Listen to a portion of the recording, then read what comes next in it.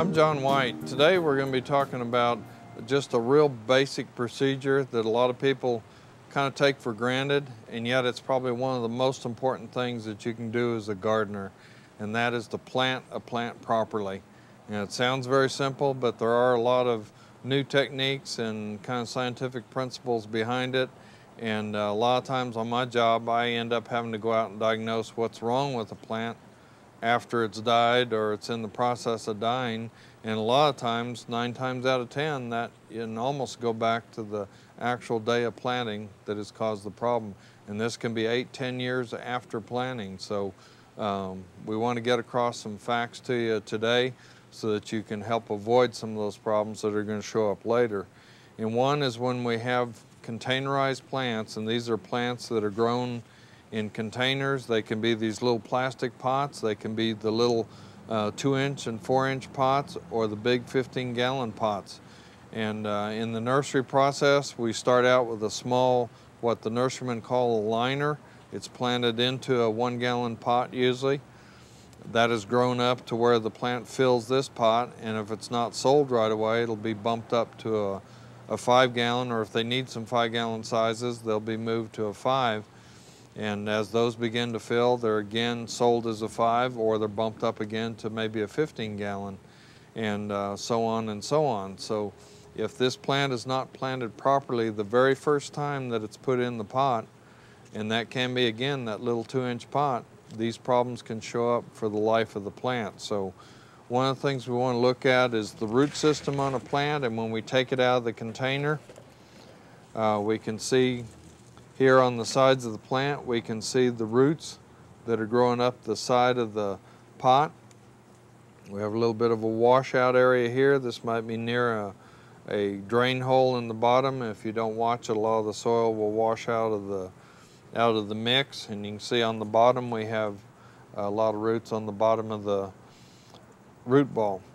And uh, when we go to plant this plant, we do not want to take this plant and just put it in the ground exactly like this. So what we want is a plant that has some of the roots loosened on it. So we're going to go through and break this with my finger. Just kind of break some of the soil loose. If there are roots that feel like they're wrapping around, we want to break those or pull them loose like this so that they're sticking out around the sides. You can take a knife and just cut your way through here. We can see we got a, a root here that has uh, started to circle. We want to get rid of those because those roots, as they get larger in size, uh, will begin to girdle and squeeze on the other uh, roots in the mix. You can see this root here grew out and then hit the side of the pot and then grew straight down. We need to straighten out those kind of roots because they can cause problems later. So after we've kind of broken some of the soil loose from this plant, it can be planted, and that way the roots are in contact with the native soil right away. If you get water on the plant quickly, those roots should take off into the native soil uh, real fine.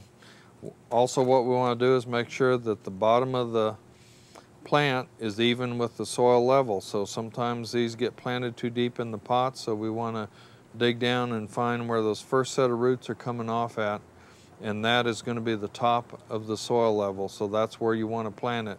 Do not plant it in a basin. It needs to be even with the soil and then the extra soil you can make a little dike around it. So that's real important on containerized plants. This is the time of year that we want to do planting especially of our woody shrubs and tree material. Here we have a uh, fruit tree. Um, the swollen bulb-shaped uh, part on it down here is where the tree was grafted. So the part down below is a different, it's still in the same family as the top part of the tree, but it's a different type. So what we're doing is putting on the actual variety of tree that we want on the top. So it's budded or grafted right on at this point. When we plant the tree, we do not want to cover this. We want to make sure that this part is planted we're going to dig down, find the first set of roots, and that's where we're going to plant the top of the soil ball, the root ball. So this part here will be above ground, that's fine. Um, as this tree begins to age and this fills out and this fills out, you will no longer see that. So that's real important. And a lot of our shade trees are grafted and budded trees, so we want to make sure that we do not hide those graft unions. We want to make sure that they are above the uh, soil level. So hopefully those tips will will uh, get you started. Uh, next week we are going to talk about and show the procedure of actually how to put the plant in the ground. So, um, but remember this is a very important step. So don't don't take it lightly.